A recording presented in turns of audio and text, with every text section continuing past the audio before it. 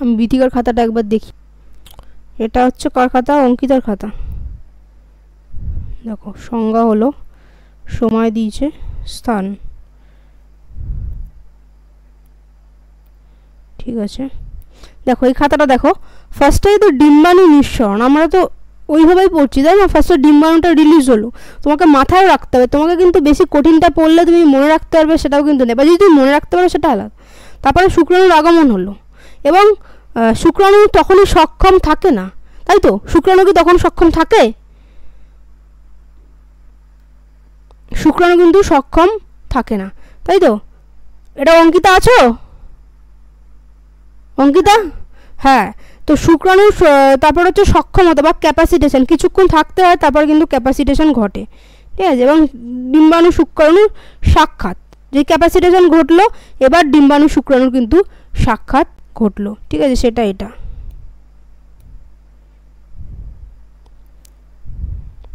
এটা ভালো হয়েছে। আচ্ছা এবার ডিম্বাণু শুক্রাণু যে সাক্ষাৎ ঘটলো, তারপরে দেখো এই যে আস্তে আস্তে এই যে ডিম্বাণু শুক্রাণু সাক্ষাৎ ঘটেছে, তারপর স্তরগুলোকে বিভেদিত করছে এবং আস্তে আস্তে শুক্রাণুর ভেতরে প্রবেশ করছে। ঠিক আছে? দেখো, আমি লিখিয়ে দিলাম না। এগুলো উল্টোপাল্টা কী করে হলো? তারপরে দেখো তারপর হচ্ছে অ্যাক্রোজোম বিক্রিয়া হলো, তারপরে হচ্ছে কর্টিক্যাল বিক্রিয়া হলো। মানে হচ্ছে ফার্স্টে অ্যাক্রোজোম মানে শুক্রাণু পুরোপুরি ভেতরে প্রবেশ করল, ঠিক আছে? ডিম্বাণুর শুক্রাণুর মস্তক পুরোপুরি ডিম্বাণুর ভেতরে প্রবেশ করল, এবার শুক্রাণু, একটা শুক্রাণু প্রবেশ করেছে অন্য শুক্রাণুকে কেন প্রবেশ করতে দেবে? ও তো করতে দেবে না, তো তাই জন্য কর্টিক্যাল বিক্রিয়া হলো মানে একটা পর্দার সৃষ্টি করল। এবার ডিম্বাণু শুক্রাণু নিউক্লিয়াসের মিলন ঘটলো। ঠিক আছে এবার ডিম্বাণু শুক্রাণু নিউক্লিয়াসের মিলন ঘটলো অর্থাৎ এই অবস্থানটা এই যে শুক্রাণু নিউক্লিয়াস এবং ডিম্বাণু নিউক্লিয়াসের মিলন ঘটলো যেটা আমরা কোথায় পড়েছিলাম বলো কোথায় পড়েছিলাম নিচেক তো এখন পড়ছি তার আগে কোথায় পড়েছিলাম ডিম্বাণুর গঠনে মানে উসাই উজেনেসিস তাই তো উজেনেসিস আচ্ছা। এবার ডিম্বাণু শুক্রাণু নিউক্লিয়াসের মিলন ঘটলো। তারপর সেখান দিয়ে শেষে জাইগোট। এইভাবে কিন্তু লিখতে আমি কিন্তু ওই জন্য লিখে দিলাম, দিছিলাম পুরোপুরি। ওটা একটু কঠিন হয়ে যাচ্ছে, ঠিক আছে?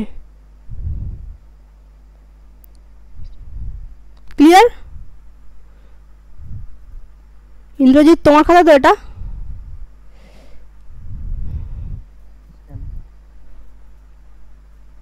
আচ্ছা। আচ্ছা দেখো এটাও। জনন কোষ গঠন হলো। বিস্তারিত দিয়ে দিয়েছ, ঠিক আছে।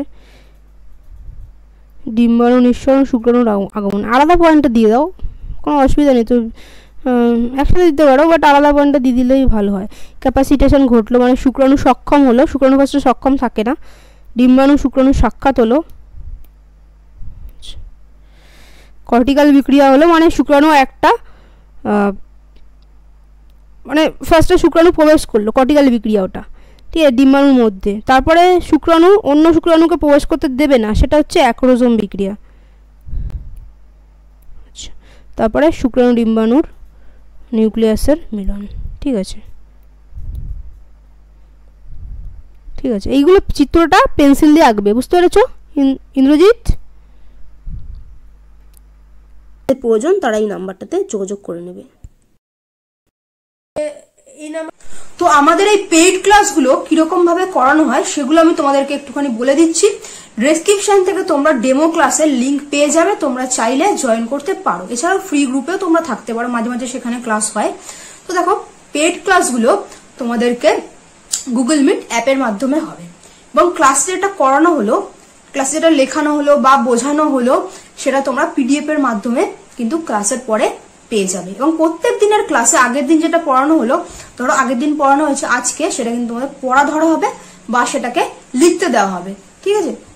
একটা চ্যাপ্টার শেষ হলো, একটা চ্যাপ্টার ধরো শেষ হয়ে গেল, সেই চ্যাপ্টারটার কিন্তু সাজেশন তখনই যেদিনকে শেষ হলো, সেদিনকে সাজেশন তোমরা পেয়ে যাবে। ওটা তোমরা হোমওয়ার্ক করে তোমাদের ফ্রেশ খাতায় বা ফেয়ার খাতায় সেটা করে, সেটা আমাকে জমা দিতে হবে। সেটা কিন্তু আমি তোমাদেরকে চেক করে দেবো। অলরেডি সেই জিনিসগুলো আমি ক্লাসে করিয়ে দিয়েছি। অর্থাৎ তোমার কাছে তোমার নোট একদম ফ্রেশ ভাবে থাকল। তো পরীক্ষার আগে তোমাকে আর তাড়াহুড়ো কিন্তু করতে হচ্ছে না। একদম কিন্তু তোমার যবে থেকে তুমি পড়ছো, তোমার মানে নোট তোমার একদম পড়াটা কিন্তু তবে থেকে রেডি হয়ে থাকছে। আমি শেষে সাজেশন দেই না। একদম তোমাদের ক্লাস চলাকালীন কিন্তু সাজেশন দিই। সেটা আমি বাড়ির ব্যাচেও তাই করি।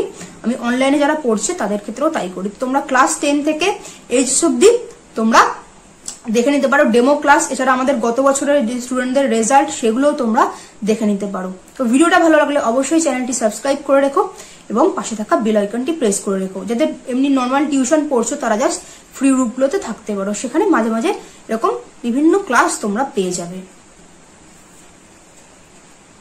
ও আর একটা ব্যাপার, ধরো কারোর সাথে টাইম অ্যাডজাস্ট হলো না। যে অনলাইন ক্লাসগুলো হচ্ছে টাইম অ্যাডজাস্ট হলো না। হতেই পারে, কারণ তোমরা ওয়েস্ট বেঙ্গলের বিভিন্ন প্রান্ত থেকে বিভিন্ন ছেলেমেয়েরা অনলাইন ক্লাসটা করে। তো সেক্ষেত্রে কি হবে? সেক্ষেত্রে তোমরা রেকর্ড যে ক্লাসটা ওইটা তোমরা করে নিতে পারো। এবং তোমরা তোমার টাইম আমাকে মানে আমাদেরকে জানিয়ে দেবে যে এই টাইমে তুমি ক্লাসটা করবে। ঠিক আছে? সেই টাইমে তোমার যে ক্লাস ওয়ার্কটা সিডব্লিউ যেটা ক্লাসে লিখতে দিই, সেটা তোমাকে দিয়ে দেওয়া হবে। তুমি লিখে সেটা জমা দেবে। এবং অবশ্যই যেটা তোমার এইচ ডাব্লিউ থাকবে, সেটা কিন্তু তোমাকে নির্দিষ্ট টাইমে করে, সেটা পিডিএফ করে জমা দিয়ে দিতে হবে। ডেমো ক্লাস দেওয়া আছে তোমরা চাইলে দেখে নিও।